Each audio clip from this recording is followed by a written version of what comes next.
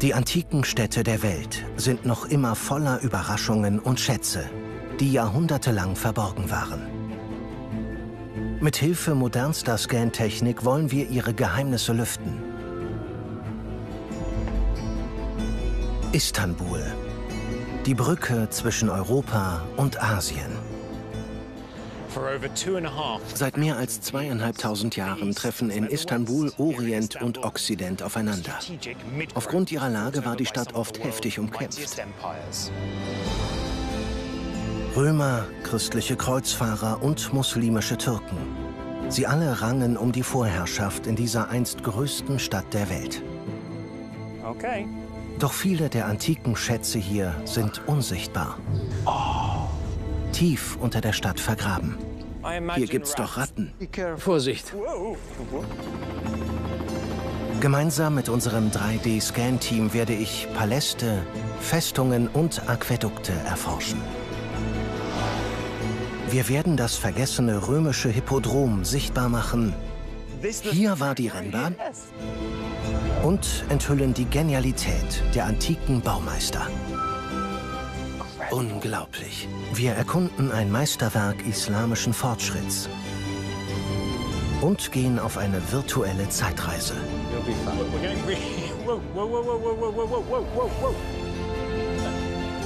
So haben selbst die Bewohner von Istanbul ihre Stadt noch nie gesehen. Willkommen im unsichtbaren Istanbul.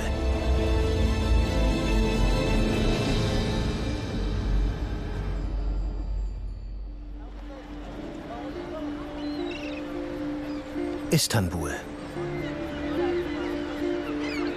Die Brücke zwischen zwei Kontinenten.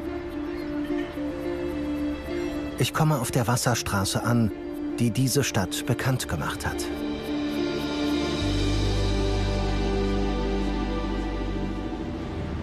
Ich befinde mich auf dem Bosporus, einem der weltweit meistbefahrenen Schifffahrtswege. Hinter mir im Norden ist das Schwarze Meer, vor mir das Mittelmeer. Zu meiner Linken liegt Asien und zu meiner Rechten Europa. Hier treffen Menschen aus aller Welt zusammen.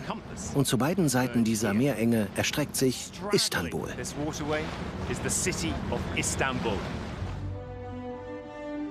Istanbuls strategisch günstige Lage machte die Stadt für die Großmächte der Antike unwiderstehlich. Vor 2500 Jahren unter griechischer Herrschaft hieß sie Byzanz. Die Römer gaben ihr den Namen Konstantinopel. Und 1453 wurde sie von den Osmanen erobert und Istanbul genannt. Wie Napoleon schon sagte, wenn die Welt ein einziges Land wäre, dann wäre Istanbul die Hauptstadt.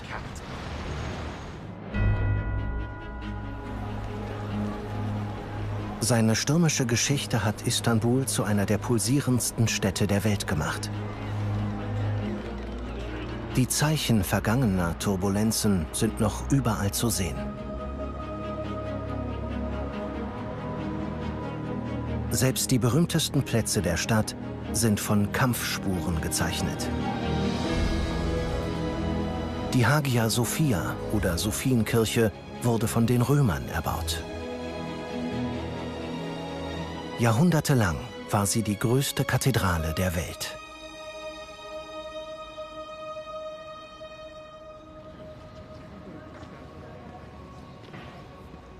Moderne Bauwerke überdauern oft nur Jahrzehnte. Ich will herausfinden, warum die Hagia Sophia nach 1500 Jahren immer noch steht.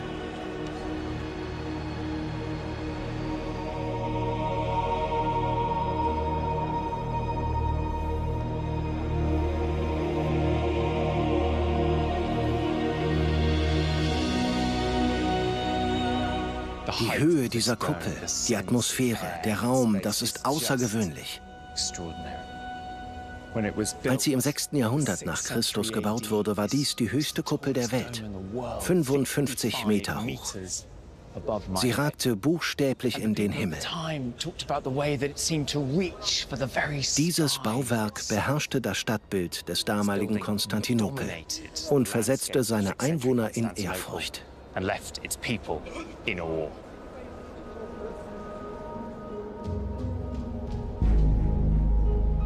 Zwei Vorgängerbauten der Hagia Sophia waren niedergebrannt. Deshalb ließ Kaiser Justinian diese Kirche als gewaltigen Beweis für die Macht und Beständigkeit Roms errichten. Die Kuppel der Hagia Sophia hat Erdbeben, Aufstände, Belagerungen und Eroberungen überstanden. Unser Scan-Team unter der Leitung von Architekt Matt Shaw versucht herauszufinden, warum.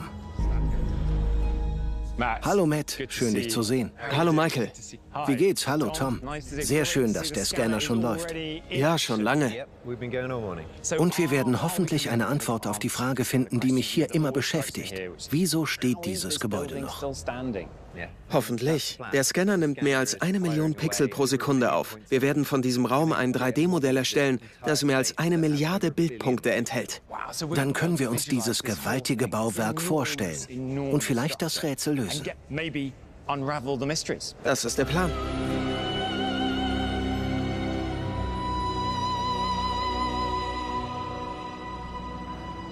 Im 15. Jahrhundert wurde die Hagia Sophia zu einer Moschee umgebaut und später um diese Minarette ergänzt.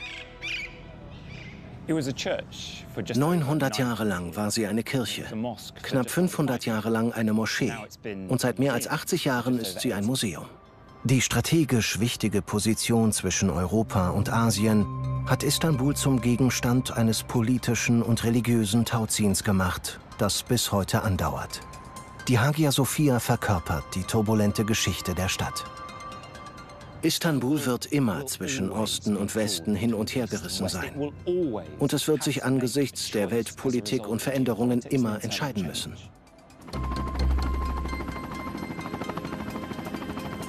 Um zu beweisen, wie die Geschichte die Stadt verändert hat, erstellen Matt Shaw und sein Team eine 3D-Karte des Zentrums von Istanbul.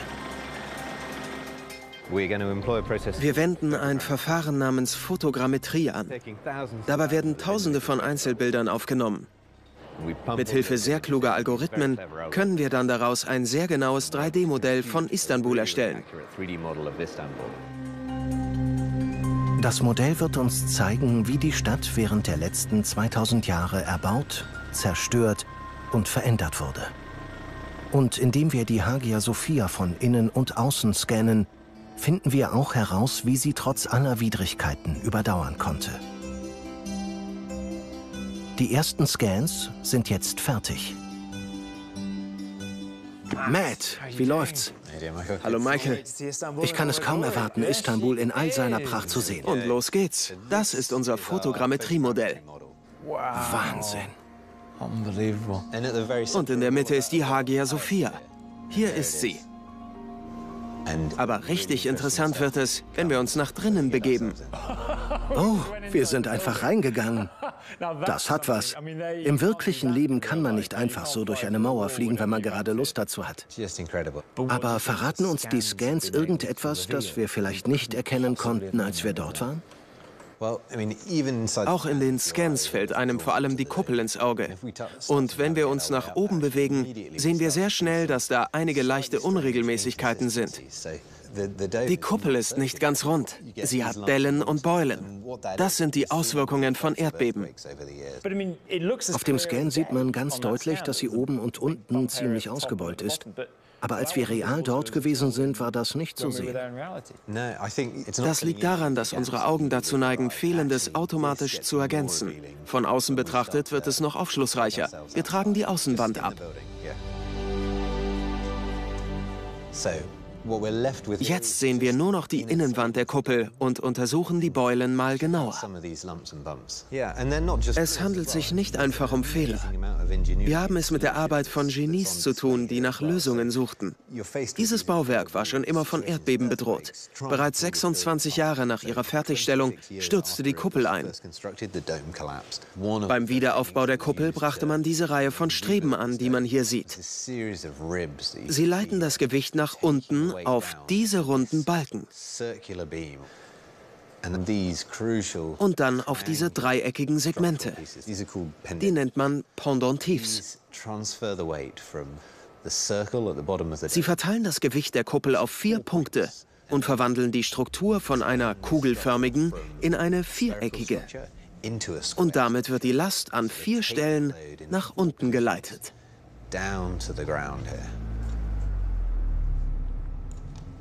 Wenn man im Gebäude ist, denkt man über all das nicht nach. Man hat nur Augen für die wunderschönen Engel. Es wirkt, als würden die Engel buchstäblich den Himmel tragen. Sie tragen das Dach. Und sie halten alles zusammen. Ich bewege uns jetzt wieder aus der Kirche raus und schneide sie auf. Hier ist die Kuppel und an den Seiten befinden sich noch einmal zwei riesige halbe Kuppeln. Sie sorgen dafür, dass der Raum noch größer wird. Wenn man dort drinnen herumläuft, spürt man das gewaltige Volumen. Doch auch diese klugen Konstruktionen reichten nicht aus und im Laufe der Jahre wurden an allen Seiten Stützen angebracht. Die halten alles zusammen. Sie verhindern, dass alles auseinanderfällt.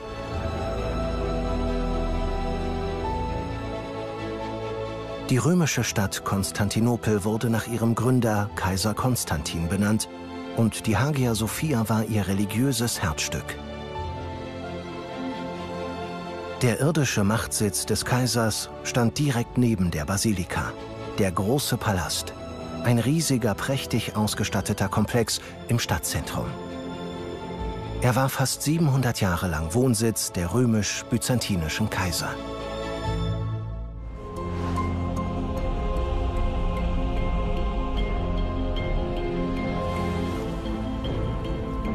Die Computergrafik vermittelt uns eine Ahnung von der Herrlichkeit dieses Prachtbaus, auch wenn wir nur einen kleinen Teil des großen Palastes betrachten.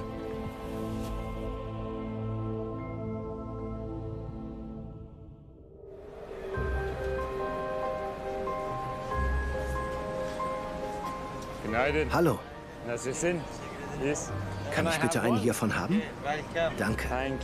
Kaiser Konstantin machte die Stadt im 4. Jahrhundert zur Hauptstadt des Römischen Reiches.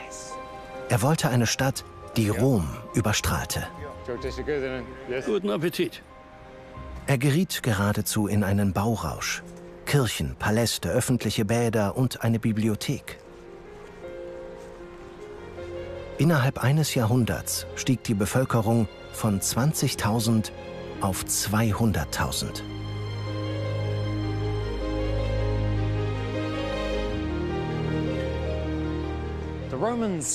Die Römer waren genial darin, öffentliche Plätze zu bauen, an denen die ganze Stadt zusammenkam. So zum Beispiel das Kolosseum in Rom. Hier in Konstantinopel war dieser Ort das Hippodrom, die Wagenrennbahn. Ich bin mit jemandem verabredet, der diesen Ort in- und auswendig kennt. Das Hippodrom dominierte das antike Konstantinopel. Es war das gesellschaftliche Zentrum der Stadt. Hier fanden doppelt so viele Zuschauer Platz wie im Kolosseum in Rom. Und sogar mehr als im Wembley-Stadion. Doch von der Rennbahn ist nur noch wenig übrig. Also, Kerim, wo gehen wir hin? Sie sehen gleich das Kellergewölbe des Hippodroms. Wir gehen da rein? Ja? Ich nehme an, das hier ist normalerweise nicht öffentlich zugänglich. Nein? Kommen Sie. Jetzt verstehe ich, warum wir Taschenlampen mitbringen sollten. Was für ein Raum. Na, was sagen Sie? Unglaublich, wo sind wir? Das hier ist das Gewölbe unter der Tribüne. Über uns wäre jetzt das jubelnde Publikum? Genau. In diese Richtung führt ein Tunnel. Und in diese Richtung auch. Das ist der reinste Kaninchenbau. Ja, Sie halten sich besser an mich. Und was ist da hinten? Hier sind überall Gänge und Wege. Da ist eine Tür, Kerim. Was? Sehen Sie selbst. Nur zu. Wirklich? Na gut. Wow, okay. Kerim, ich glaube, wir brauchen viel mehr Ausrüstung.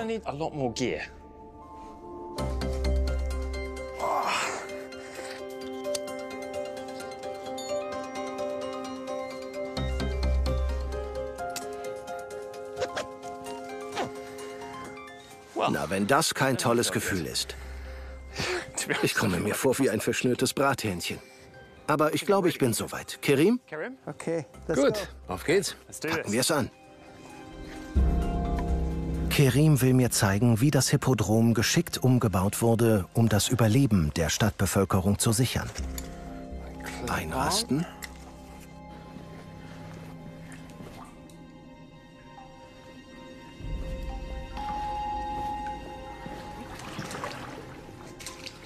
Ist es kalt?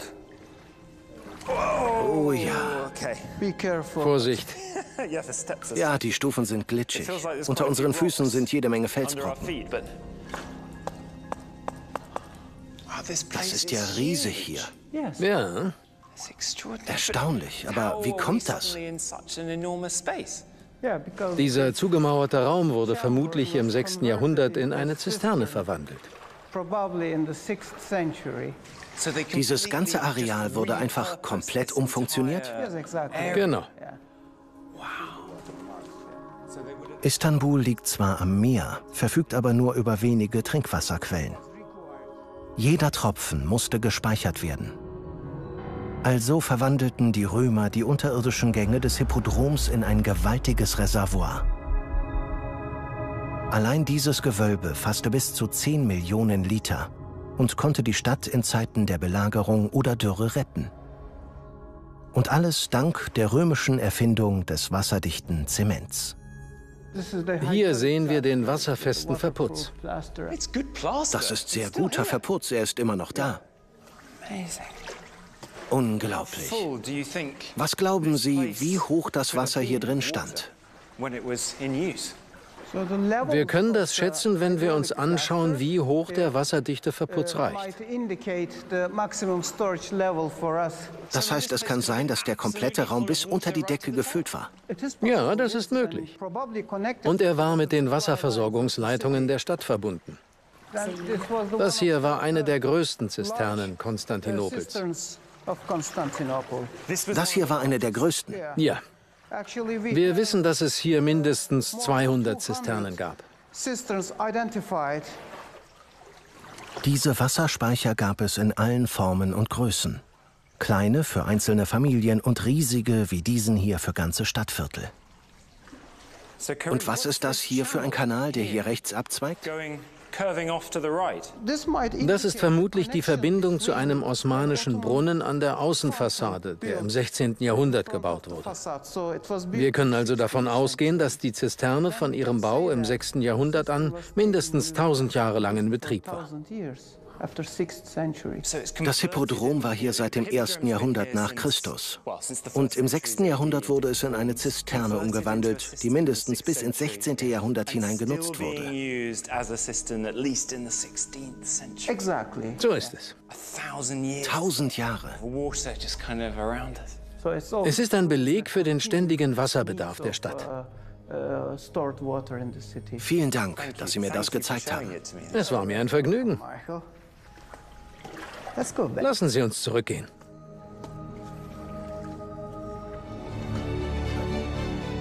Unsere Scans zeigen, wie ein Bauwerk, das ursprünglich der Unterhaltung diente, in ein lebensrettendes Reservoir verwandelt wurde. Heute erinnert sich kaum jemand mehr daran, bis auf jene, die das unsichtbare Istanbul kennen.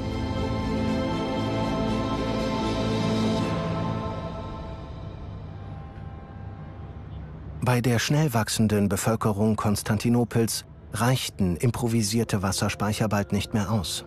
Noch mehr römische Ingenieurskunst war gefragt.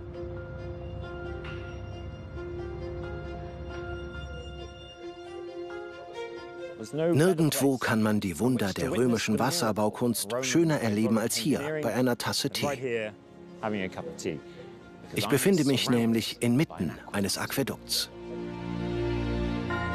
Das ist der Valens-Aquädukt, einst die wichtigste Trinkwasserleitung der Stadt.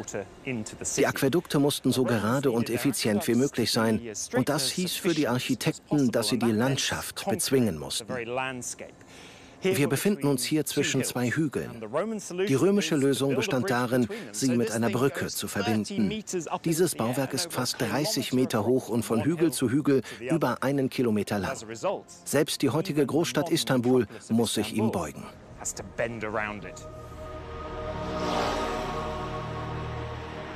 Hallo Jim.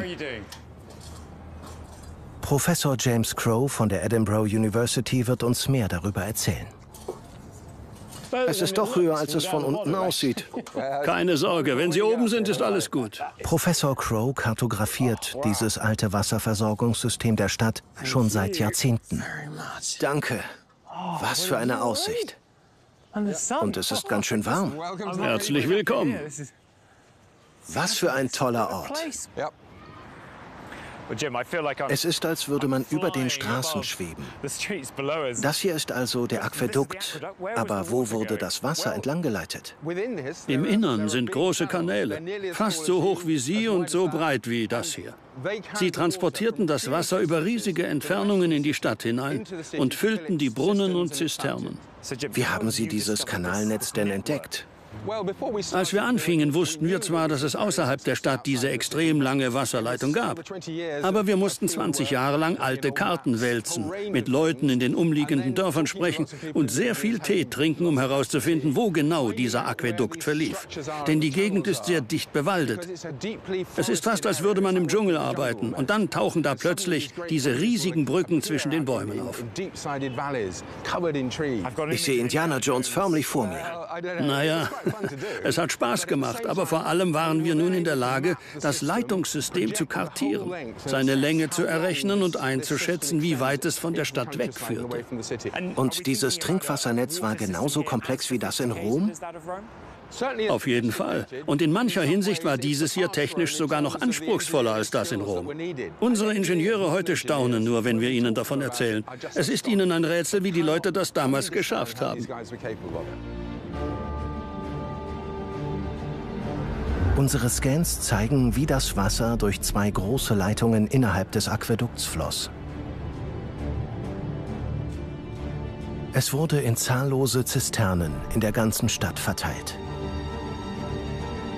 Einige davon waren improvisiert, wie die im Hippodrom, andere gezielt gebaut und einige davon so groß wie ein Fußballfeld.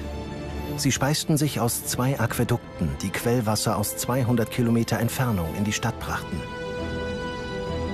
Mit einem Leitungsnetz von mehr als 500 Kilometern Länge war dies das längste und komplexeste Wasserversorgungssystem der römischen Welt.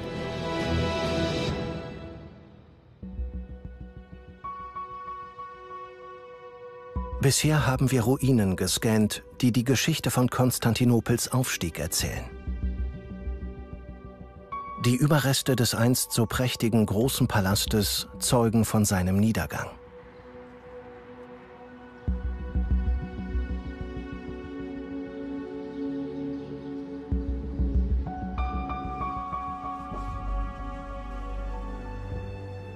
Dieser Palast wurde zerstört, als es zu Kämpfen innerhalb der Christenheit kam.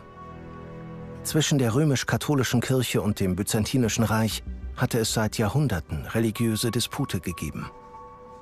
Und schließlich waren Konstantinopels Reichtümer für die westlichen Kreuzfahrer einfach zu verlockend. Dieser Palast wurde im Laufe der Zeit mehrere Male zerstört und wieder aufgebaut. Doch den finalen Todesstoß erhielt er 1204, als westliche Kreuzfahrer unter der Führung Venedigs die Stadt eroberten und zerstörten. Und diesen wunderschönen Palast gleich mit.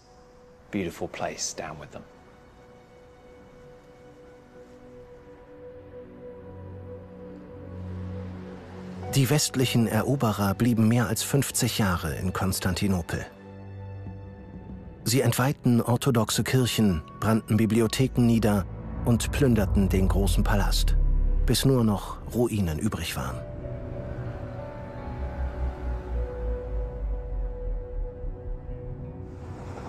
Der Konflikt zwischen katholischer und orthodoxer Kirche führte zum Zusammenbruch Konstantinopels. Im 15. Jahrhundert sank die Einwohnerzahl auf weit unter 70.000. Die ruhmreichen Tage waren vorbei. Die Stadt glich nur noch einer leeren Hülle. Und es kam noch schlimmer.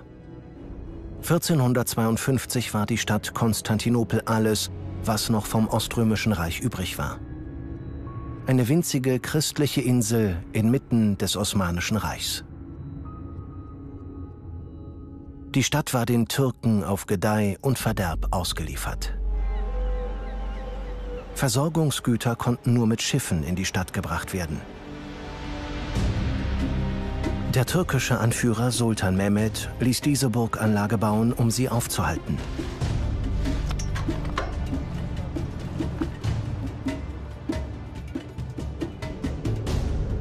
Sie lag an der schmalsten Stelle des Bosporus, keine 800 Meter von seiner eigenen Festung auf der asiatischen Seite entfernt. Heute kennt man die Festung unter dem Namen Rumeli Hissari, was so viel bedeutet wie Festung der Römer. Denn wir befinden uns hier auf der europäischen Seite und als Mehmed die Festung bauen ließ, war dies römisches Herrschaftsgebiet. Doch der ursprüngliche Name war Boakissa, was so viel heißt wie Abschneider der Meerenge, also des Bosporus. Doch gleichzeitig heißt es auch Halsabschneider, und das nicht von ungefähr.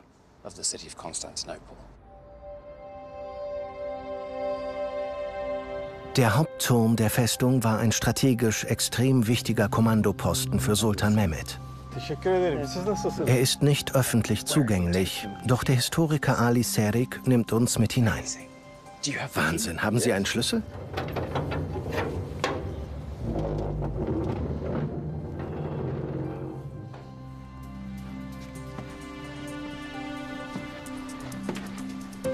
Ich bin sehr gespannt, welchen Zweck dieser Turm hatte. Um das herauszufinden, begeben wir uns ganz nach oben.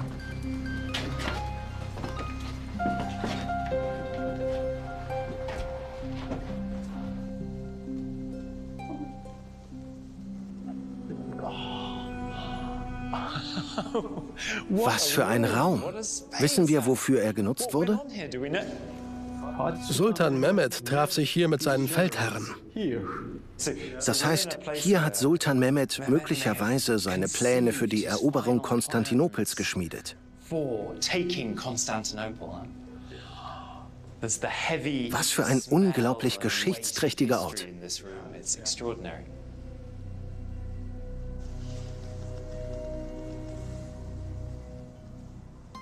Mit Hilfe unserer Scans werfen wir nun einen Blick hinter die Fassade von Sultan Mehmeds Hauptquartier. Dort offenbart sich uns eine unerbittlich effiziente Kriegsmaschinerie.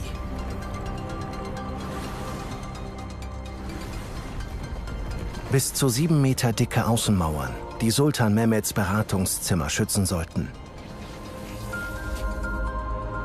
Kleine Aussichtsfenster, Bogenscharten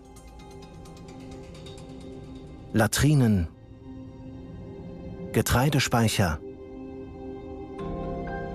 Quartiere für bis zu 400 Soldaten, gut gefüllte Waffenkammern, eine Rutsche, über die kochendes Öl auf etwaige Eindringlinge geschüttet werden konnte und eine unvergleichliche Aussicht auf die schmalste Stelle des Bosporus. Doch der Turm birgt auch ein Überbleibsel von Konstantinopels Verteidigung. Und was ist das? Wofür war die Kette? Für das goldene Horn. Das goldene Horn? Ja. Die Kette des goldenen Horns. Wow. Sie macht noch einen sehr stabilen Eindruck. Ganz schön schwer, so ein Kettenglied. Ungefähr 15 Kilogramm. Kein Wunder, dass sie so lange so gut funktioniert hat. Diese Eisenkette ist legendär. Jahrhundertelang wurde mit der Kette die Einfahrt zum Goldenen Horn gegen Angriffe gesperrt. Sie hinderte auch Sultan Mehmeds Schiffe daran, in die Stadt vorzudringen. Aber Mehmed hatte einen genialen Einfall. Er ließ aus in Olivenöl getränkten Holzblöcken eine Transportstraße legen, über die seine Schiffe an Land in die Mündung gezogen werden konnten. So gelang es ihm, die Kette zu überwinden und am 22. April 1453 brachte er seine Flotte in Stellung, um Konstantinopel endgültig zu erobern.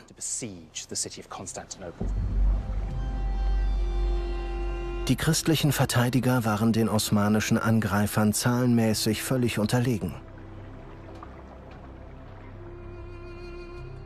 Frauen, Kinder, Alte und Kranke suchten Zuflucht in der Hagia Sophia.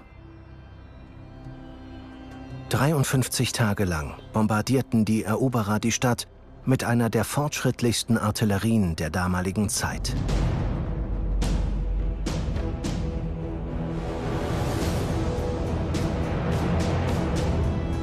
Am 29. Mai 1453 fielen die legendären Mauern Konstantinopels endgültig. Die Eroberer stürmten zur Hagia Sophia. Sie sprengten die Türen. Die Christen, die sich dort versteckt gehalten hatten, wurden getötet oder versklavt. Sultan Mehmed selbst sollte über die Verwüstung später klagen. Wie konnten wir nur zulassen, dass so eine Stadt geplündert und zerstört wird? Mit dem Untergang des byzantinischen und damit des römischen Reiches, knapp 40 Jahre ehe Kolumbus Amerika entdeckte, begann für Konstantinopel ein völlig neues Kapitel. Die Stadt hieß jetzt Istanbul, war islamisch und die Hauptstadt des Osmanischen Reiches, das nun den gesamten Osten beherrschte. The East now held sway.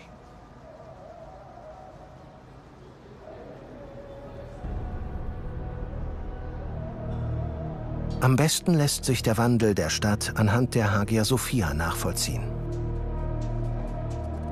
Aus der Kirche wurde eine Moschee. Im Laufe der Zeit wurden an allen vier Ecken Minarette angebracht. Und man ließ diese riesigen Paneele errichten mit den Namen Allahs, des Propheten Mohammed und seiner Nachkommen. Es gab auch weniger auffällige Veränderungen. Diese Mosaikkreuze hier wurden durch islamische Verzierungen übertüncht. Doch die wichtigste Veränderung war diese hier, der Mihrab. Er befindet sich seitlich versetzt zur Apsis. Und das aus gutem Grund. Er ist nach Mekka ausgerichtet und zeigt damit den muslimischen Gläubigen die Gebetsrichtung an. Als Bestandteil der muslimischen Welt erlebte die Stadt eine Wiedergeburt.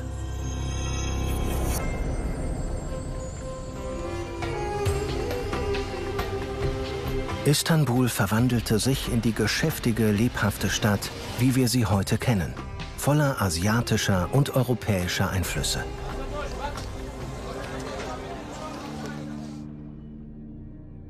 Unsere 3D-Karte zeigt uns eines der großartigsten Beispiele osmanischer Architektur. Eine neue Moschee, die die Hagia Sophia übertreffen sollte. Die Süleymaniye-Moschee. Erbaut 1557 im Auftrag von Sultan Süleyman dem Prächtigen, ist sie auch heute noch eine Oase des Friedens. Die Genialität der Süleymaniye-Moschee reicht von ihrer großartigen Konstruktion bis ins kleinste Detail. Vieles ist unsichtbar. Doch nicht für die Historikerin Oja Aydemir. Was für eine Tür, fantastisch. Das ist unglaublich. Was für ein Raum. Die Moschee heißt sie willkommen. Ja, das kann ich spüren. Man wird förmlich in diesen Raum hineingezogen. Dieses Gefühl von Größe und Licht hier drin ist einfach unglaublich. And, and air and light in here is just incredible.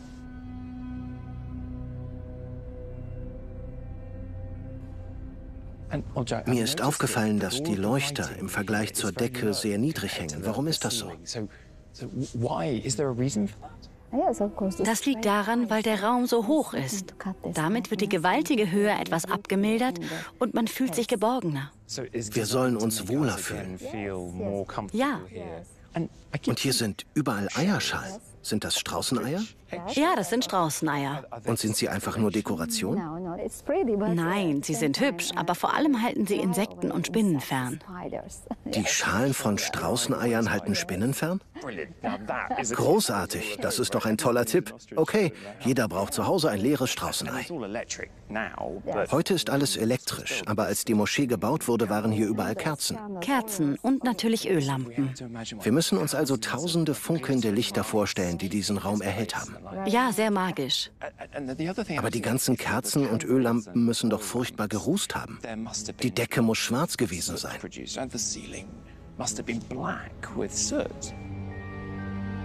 Aber die Wände und die Decke sind makellos. Erst auf den Scans sehen wir die geniale Lösung. Ein in den Wänden verstecktes Lüftungssystem. Der Ruß wurde durch verborgene Schlote nach oben in eine geheime Kammer gezogen, wo er an den Wänden kleben blieb und zur Tinte für heilige Schriften verarbeitet wurde. Heute sind dort nur noch Graffiti zu sehen.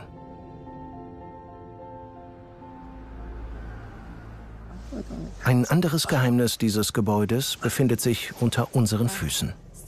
Wow, was sind das für Gänge? Sie verhindern, dass sich Feuchtigkeit bildet. Sie bilden ein Lüftungssystem. Diese Gänge sind heute Lüftungsschächte, aber ursprünglich wurden sie genutzt, um die Arbeiter, die an der Moschee bauten, mit Trinkwasser zu versorgen. Überall hier drin verstecken sich geniale Ideen. Hier zum Beispiel verbessert die Dekoration die Akustik, damit jeder die Predigt verstehen kann. Die Moschee war nicht nur genauso prächtig wie die Hagia Sophia, ihre Architektur und Technologie übertraf diese bei weitem.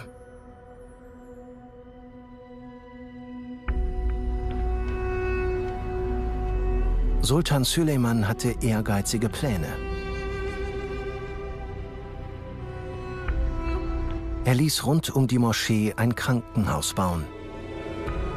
Außerdem mehrere Schulen, Badeanstalten, eine Herberge und eine Medizinhochschule.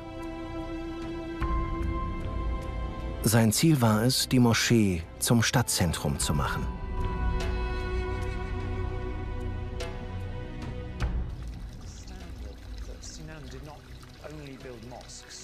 Ein wichtiger Teil des Komplexes rund um die Moschee war die Armenküche.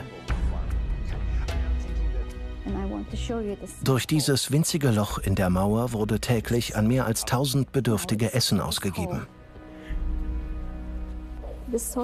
Hier wurden die Mahlzeiten durchgereicht. Die Person, die das Essen ausgab, konnte nicht sehen, wer auf der anderen Seite stand. So wurde niemand bevorzugt und niemand benachteiligt.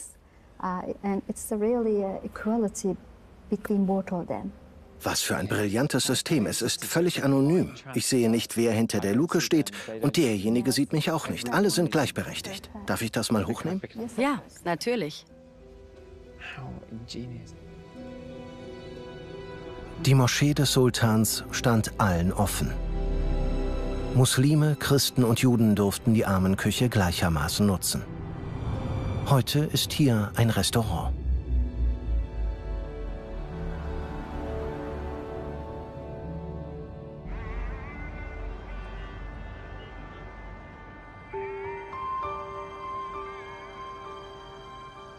So viele Aspekte des antiken Istanbul liegen unter der Oberfläche der Stadt verborgen.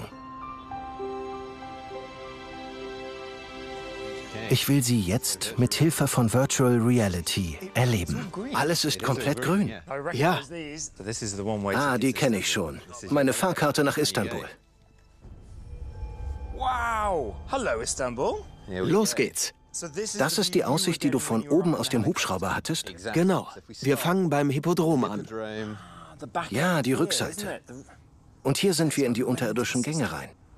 Da ist die Treppe. Und da ist all das dreckige, rattenverseuchte Wasser. Und steigen wir darüber? Ah ja, ich sehe schon. Da ist sie. Die Hagia Sophia. Man sieht deutliche Unterschiede zwischen den Minaretten. Sie sind alle zu verschiedenen Zeitpunkten gebaut worden. Ich kann die Kuppel der Hagia Sophia in meinen Händen halten. Jetzt gehen wir rein. Diese Perspektive ist dir vermutlich schon etwas vertrauter. Aber das Gute ist, wir können uns im Raum nach oben bewegen. Was? Wir fliegen durch die Luft? Sieh dir diese Details an. Wunderschön. Oh, da kommt das Dach. Langsam, langsam. Keine Sorge.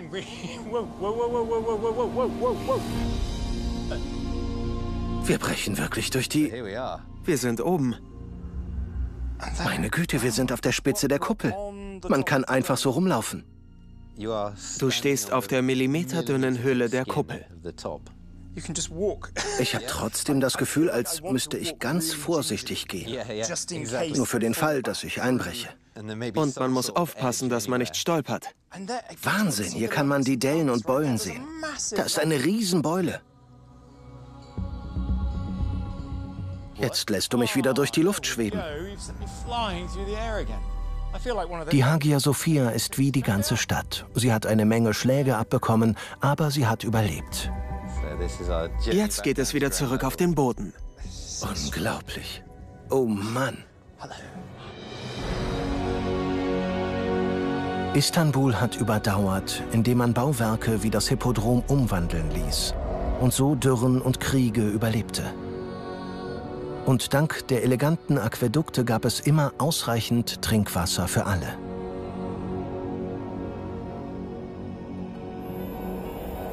Die Geschichte und die Kultur dieser Stadt reichen weit, weit zurück. Und die Bewohner Istanbuls kämpften gegen feindliche Heere und Erdbeben, um ihre Heimat zu retten, trotz aller Widerstände.